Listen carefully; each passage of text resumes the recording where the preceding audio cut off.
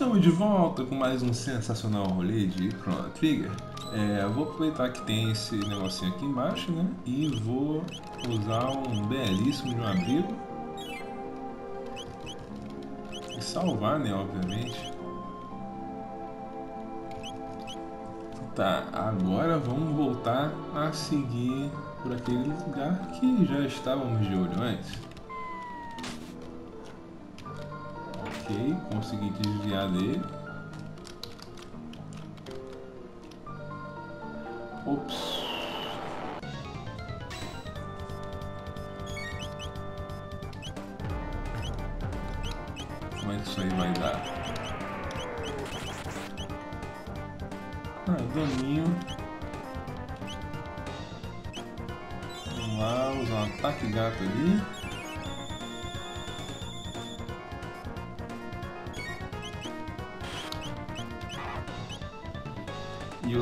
Esse, essa metralhadora aqui. Brá. Nossa, eu gosto muito desse golpe.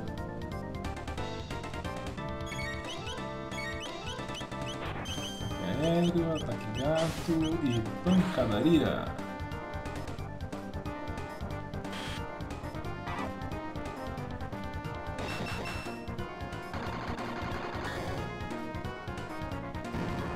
Aí foi. Esse foi bem mais tranquilo que o outro, principalmente por causa do. Não teve morte no início, né? O fato da Marley ter morrido no primeiro golpe realmente fez com que ficasse mais lento. Tá, aqui o peso é. O piso é escorregadio. Putz,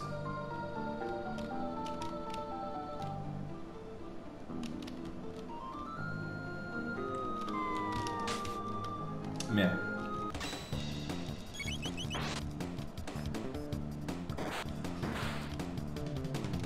Caraca, 1100 um crítico, mas é porque, se eu não me engano, tô com a espada que ela é, dá, acho que o dobro de dano quando é usada contra demônios e, pelo visto, aquele bicho é demônio. Ok.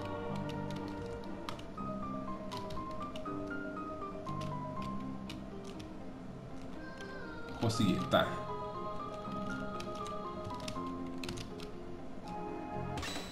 Galerão, hein? Será que tem algum combo louco aí? Acho que não. Parafuso funciona.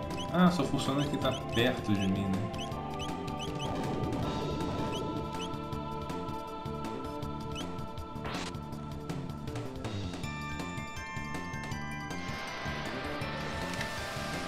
Ver o quanto de dano que isso aqui vai dar. Ah, até que ele tirou bem deles.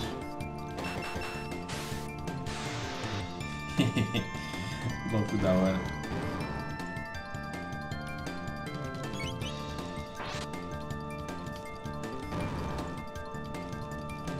Ok, derrotado. Merda. Lá ia saber que eles vão descer de novo assim tão rápido.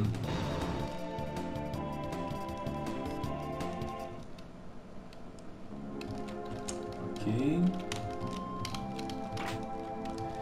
Sabre de Yaksa.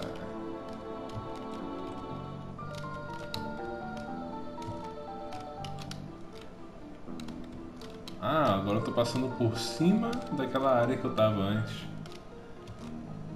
Empurre a carapaça, escalhe a carapaça. Seja a carapaça.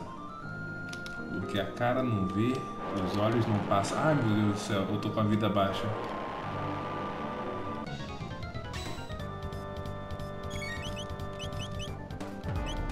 Dei mole.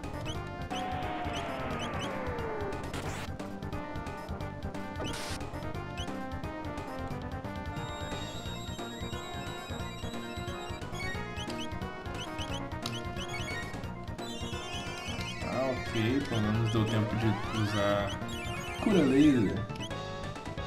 Uau, que a cura, a cura laser dele é muito boa. Nossa, Glenn, pelo amor de Deus, tu que é healer, O robô dá mais cura que tu, não vou entender. Tá, ataque aéreo.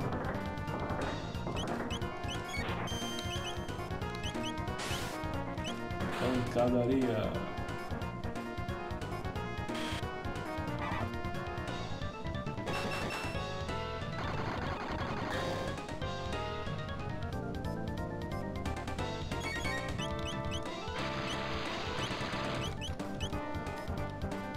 Vai dormir? Dormiu.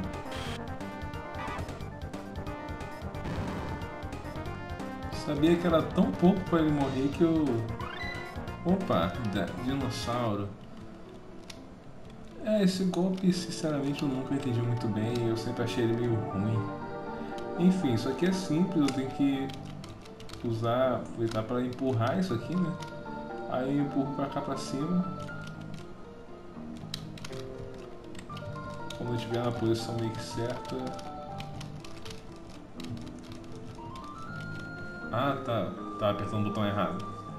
Eu aperto A, eu acho. Opa, boné da memória. Vamos ver o que vai acontecer aqui em cima. Esse é o topo do pico da morte. Tu que temes noite e fica contra a escuridão, empreste-me-nos tua força. Crono! O pingente está reagindo?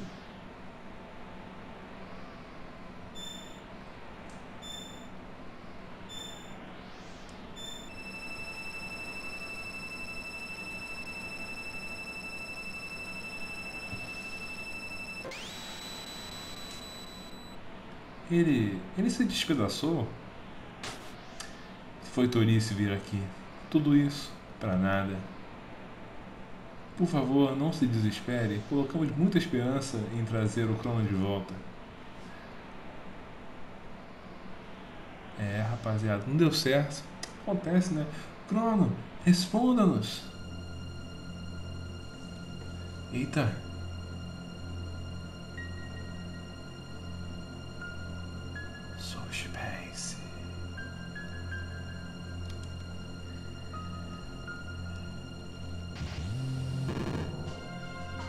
Aí, parece que a Mari tá de moicano.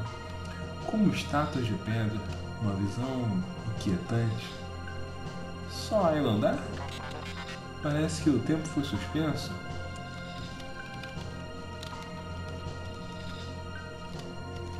É, rapaziada, uma doideira rolando aí. Só temos que trocar o boneco clone por crono. Boa! Que alívio, senhor Crono. Graças a Deus você está bem. Permaneci aqui mais tempo que devíamos. Vamos indo. Rápido, levar Crono. Anda ali.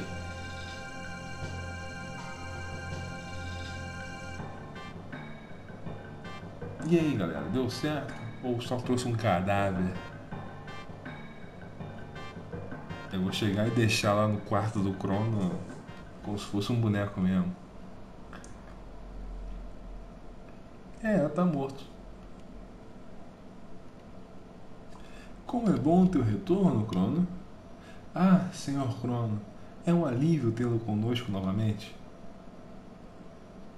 Aí mexeu a cabecinha. É um morto muito louco.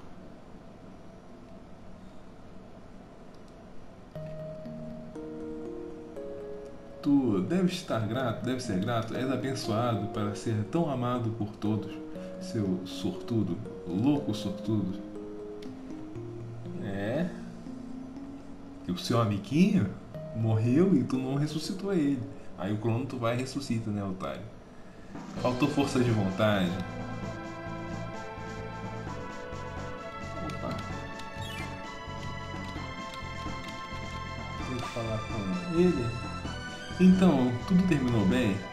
Não, não me agradeça. Eu meramente coloquei uma peça no tabuleiro. Todavia, não foi a mão que a moveu. Se quer agradecer alguém, agradeça aos que se importaram o suficiente para ver seu amigo retornar a eles. A propósito, as hadas do tempo estavam procurando por vocês. Elas parecem ter um coração e mente próprios. Vocês desejam enfrentar lavas, correto?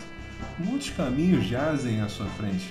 Vocês podem optar por saltar naquele balde ou voar nas asas do tempo para o dia de Lavos, ou ao presságio negro, que agora atravessa o tempo procurando invocar Lavos mais uma vez. Que loucura! Cobiçando tão avidamente atrás de poder que este o domina, cabe a vocês decidirem quando e onde irão encarar Lavos.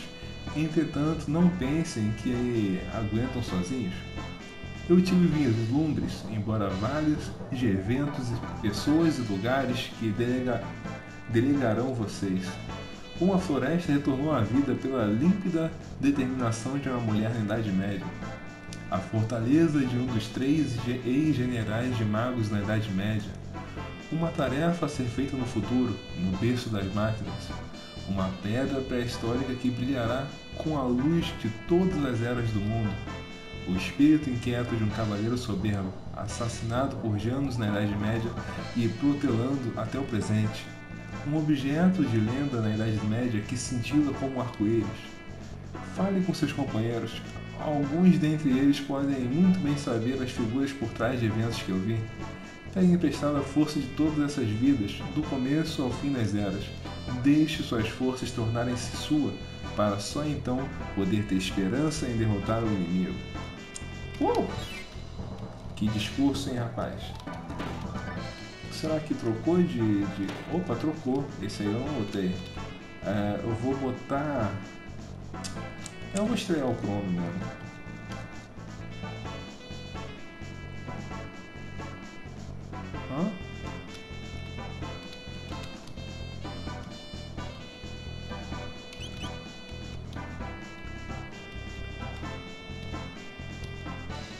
Ah, nem sabia nesse momento que, eu, que se eu falasse com eles ia, ia ter isso acontecendo. É.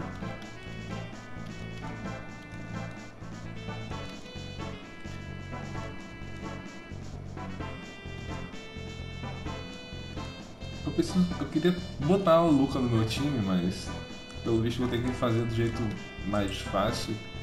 Que é simplesmente então, eu vou botar o trio, o famoso trio maravilha. E equipar eles direito, né?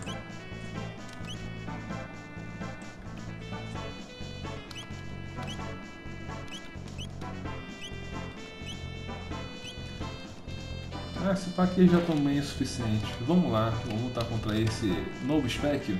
Ei, penteado punk, onde você tava? Querem? Procurando um pouco de treino? Sim. Certo. Vamos que vamos. Agora eu tenho luminares. Acabou que eu nem usei esse golpe, né?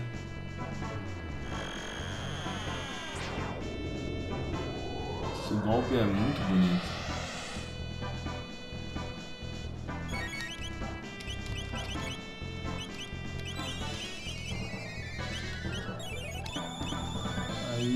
Explosão, luminares também. Essa batalha vai ser basicamente isso mesmo, porque tem que usar golpes né, de magia contra ele.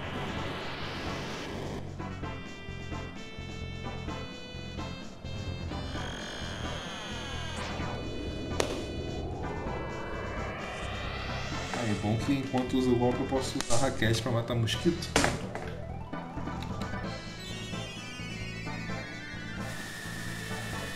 Mais um white, querido.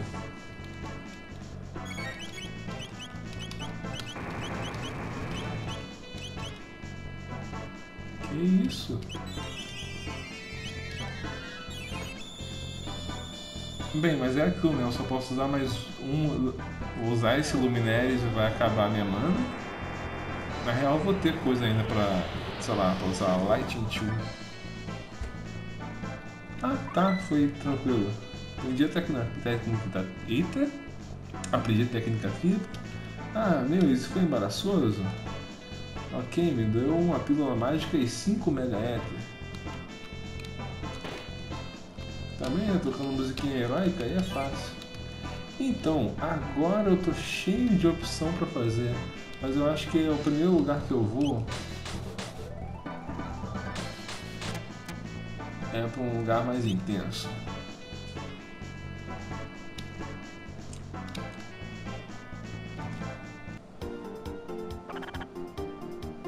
Vai, pô!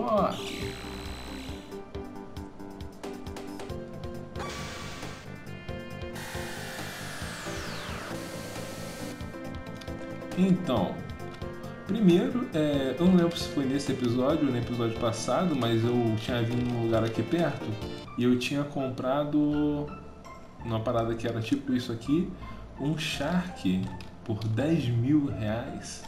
E agora eu vou chegar. Eu não vou, tome de graça. Muito obrigado, que bondade. Ela fala que, tipo, ela tava muito sem fé na humanidade, né? Isso aqui eu posso pegar porque eu já peguei o do futuro. Então, tá tranquilo. É, aí, é, nisso, ela vai passar de geração em geração para as pessoas da família dela para serem pessoas tranquilas, pessoas que vão se dar pelos outros ao redor e ser bondosos. E isso vai ser importante por um grande motivo. O motivo dele vai ser é, porque é uma parada que ainda vai acontecer bem no futuro. O primeiro lugar que eu tenho que ir é para cá. Eu vou ter que encontrar um rapazinho nessa taverna aqui. Ah, que bom vê-lo, Glenn. Finalmente topei com uma dica sobre o paradeiro da conha arco-íris.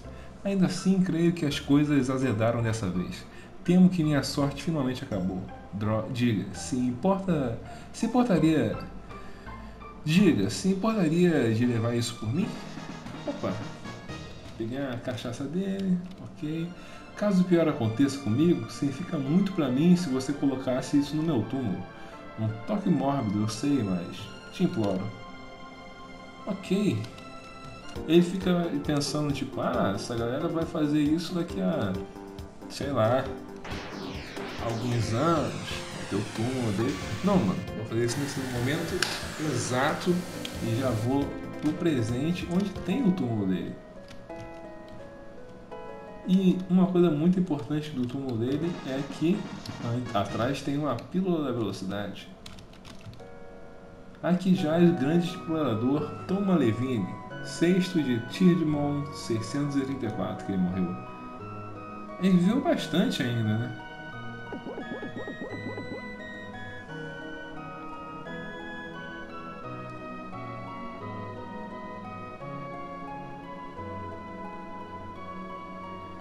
Vem, há quanto tempo? Eu localizei a concha arco-íris. Ao noroeste desse cabo há uma grande ilha chamada Garra do Gigante. A concha está lá. Ah, agora ela tem uma entrada. Mas cuidado, há um bando de monstros andando por lá. Bem, então acredito que seja uma despedida. Valeu, garoto! Ah, certamente, não há drinks tão bons quanto aqueles compartilhados na companhia de amigos como vocês. Tudo de bom para vocês! E é isso, agora já sabemos onde está o nosso querido. É... Querido não, né? Nosso próximo objetivo, que vai ser recuperar a concha arco-íris no ano 600. E agora, como podem ver, se eu vou aqui, ó, pra frente disso aqui, tem a entrada. E é aqui onde eu vou estar explorando no próximo episódio. Então até o próximo episódio. É nóis!